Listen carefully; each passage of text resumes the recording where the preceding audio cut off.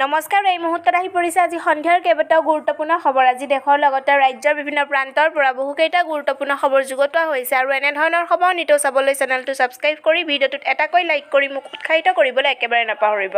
লগতে ফেচবুকত যদি চাই আছে আমাৰ পেজটো ফ'ল' কৰিব। এতিয়া আহক আজি খবৰকেইটা আৰম্ভ কৰোঁ। দৰ্শকসকল এই মুহূৰ্তত আহি পৰিছে এটা গুৰুত্বপূৰ্ণ খবৰ। বিজেপিলৈ নতুনকৈ আহিছে একাংশ তোষামোদকাৰী এই নতুন তোষামোদকাৰীসকলৰ ধনাত্মক চিন্তা নাই। মোৰ হেনো চাৰিটাকৈ তেল ডিপু আছে। মোৰ বিৰুদ্ধে ষড়যন্ত্ৰ কৰি মুখ্যমন্ত্ৰীক এইবোৰ কথা লগাই থাকে। দুহেজাৰ পোন্ধৰ চনত আমি চৰকাৰ আনিবৰ বাবে সম্পূৰ্ণ প্ৰস্তুত হৈছিলোঁ। কিন্তু আমাৰ নেতৃত্বই তেতিয়া আমাৰ ওপৰত বিশ্বাস নকৰিব। তাৰ পৰিৱৰ্তে নতুন এচামক আমদানি কৰিলে দলে। এতিয়া তেওঁলোকে আমাৰ ভাগ্য নিয়ন্ত্ৰণা হৈছে। আমাৰ দৰে নেতাবোৰ এজন এজনকৈ বিজেপিৰ পৰা ওলাই যোৱাটো বিচাৰিছো। কিন্তু কালি উদ্বোধন কৰা ফলকত সোণোৱালৰ নাম নাই। দৰ্শকসকল এই মুহূৰ্তত আহি পৰিছে এটা গুৰুত্বপূৰ্ণ খবৰ। ৰাজ্যবাসীৰ বাবে চাৰিখনকৈ বৃহৎ আঁচনি ঘোষণা মুখ্যমন্ত্ৰীৰ।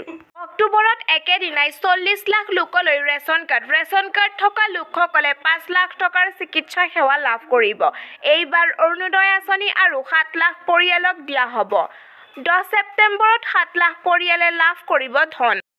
অৰুণোদয় আঁচনিৰ ধন চৈধ্যশ টকালৈ বৃদ্ধিৰ পৰিকল্পনা।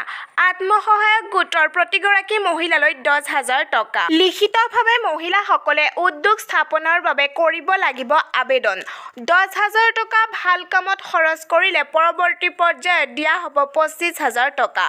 জুলাই আৰু আগষ্টত বাইছ হাজাৰ চাকৰি ওলাব। দৰ্শকসকল এই মুহূৰ্তত পৰিছে এটা গুৰুত্বপূৰ্ণ খবৰ। পাঁচ লাখ মুছলমানে কঁপাব সমগ্ৰ ৰাজ্য। সমগ্ৰ ৰাজ্যতে হ'ব ভয়াৱহ আন্দোলন।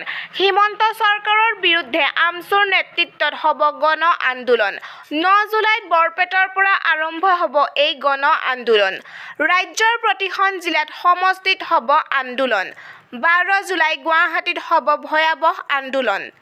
ঊনত্ৰিছ জুলাইত দিল্লীৰ যন্তৰ মন্তৰত তীব্ৰ প্ৰতিবাদ সাব্যস্ত কৰিব আমছু ৰাজ্যৰ মুছলমানসকলক ৰাজনৈতিকভাৱে আৰু শৈক্ষিকভাৱে ধ্বংস কৰিবৰ বাবে হিমন্ত চৰকাৰৰ পৰিকল্পনা কৰিছে। ভয়াৱহ আন্দোলন মুখামুখি হ'বলৈ সাজু হওক হিমন্ত বিশ্ব শৰ্মা মুখ্যমন্ত্ৰী হিমন্ত বিশ্ব শৰ্মাক সকিয়নি আমছুৰ দৰ্শকসকল এই মুহূৰ্তত আহি পৰিছে এটা গুৰুত্বপূৰ্ণ খবৰ। চল্লিছ লাখ মহিলাই লাভ কৰিব মোবাইল ফোন।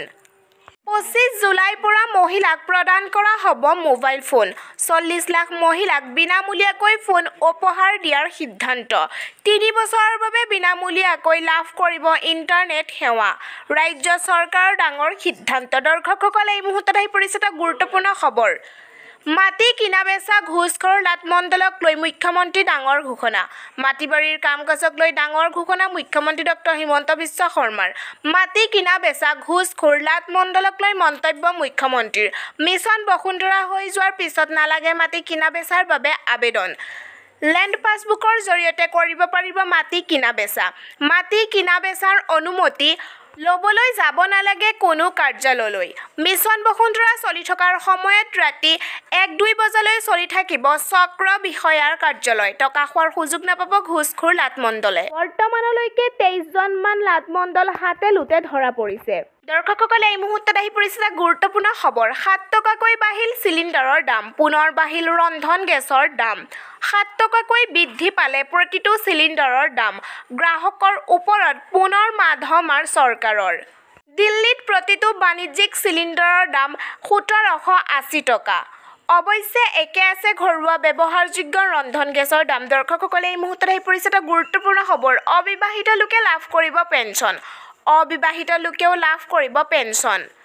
অবিবাহিত লোকলৈ চৰকাৰৰ বৃহৎ ঘোষণা। পঞ্চল্লিছৰ পৰা ষাঠি বছৰ বয়সৰ অবিবাহিত লোকেও লাভ কৰিব পেঞ্চন।